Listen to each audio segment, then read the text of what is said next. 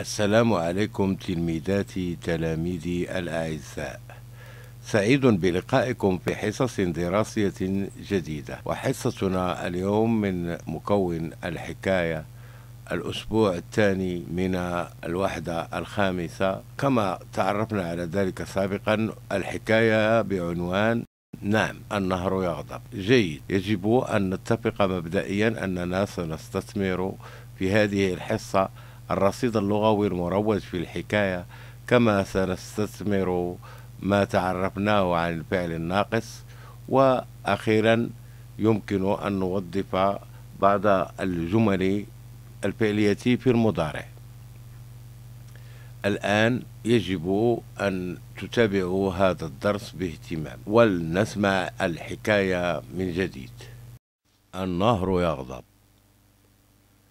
كانت نجمة تجلس كل صباح على ضفة النهر تتأمل مياهه الصافية وأسماكه الوفيرة وهي تسبح وتتسابق. ذات يوم دنت سمكة من نجمة وقالت لها مرحبا بك يا نجمة. دهشت الفتاة لما سمعت فسألتها أتعرفين اسمي؟ قالت السمكة أكيد. أنا أراك كل يوم وأسمعك وأنت تنشدين فأتمايل وأحرك زعانفي فرحا بقدومك. ابتسمت نجمة وقالت كم وددت أن أكون سمكة مثلك لأغوص في أعماق الأنهار وأستكشف ما بداخلها. ردت السمكة أنت فتاة ظريفة ومهذبة لذا أعدك أن أحكي لك كل ما تريدين معرفته ومنذ ذلك اليوم ونجمة تقابل صديقتها السمكة وتتبادل معها أحاديث مشوقة عن أعماق الأنهار.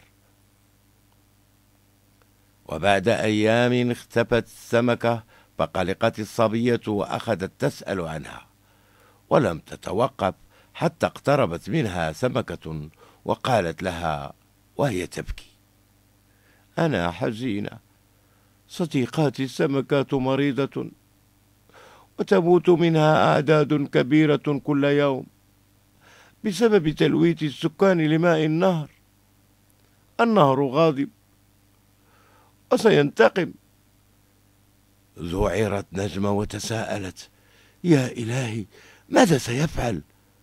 وفي اليوم الموالي استيقظت نجمة من النوم وذهبت كعادتها إلى الحمام لكنها ما وجدت ماء.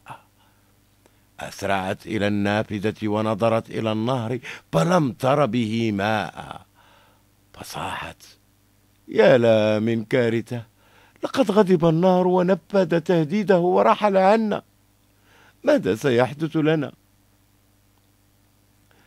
فكرت نجمة ثم اجتمعت مع أطفال القرية واتفقوا على القيام بحملة للتوعية فطرقوا كل الأبواب ونشروا منصورات توضيحية وأرسلوا رسائل صوتية لكل السكان يدعونهم إلى الكف عن تلويث وتبذير مياه النهر. استجاب الجميع وبعد أيام قلائل عادت المياه إلى النهر صافية رقراقة ورقصت السمكات فرحا واخضرت الأرض. أدعوكم الآن إلى تدوين الكلمات التي لم تفهموا معانيها. مثل دنت ذعرت كارثة تبذير.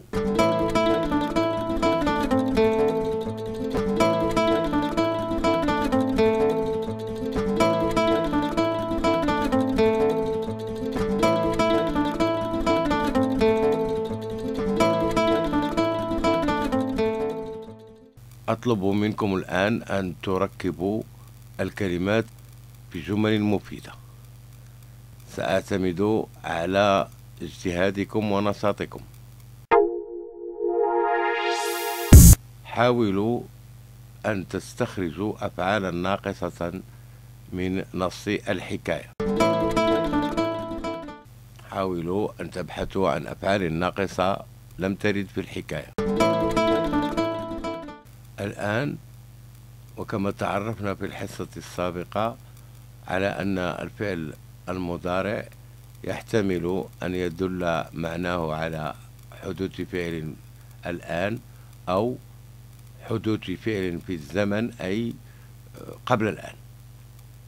استيقظت نجمة من النوم. أطلب منكم أن تحولوا هذه الجملة إلى الآن أي إلى المضارع. جيد. تستيقظ نجمة من النوم. جيد. الآن حاولوا استخراج جمل في زمن المضارع من نص الحكاية. أقترح عليكم الآن تركيب جمل باستعمال الرصيد المروج في الحكاية. عليكم اختيار كل فعل ناقص من هذه الأفعال.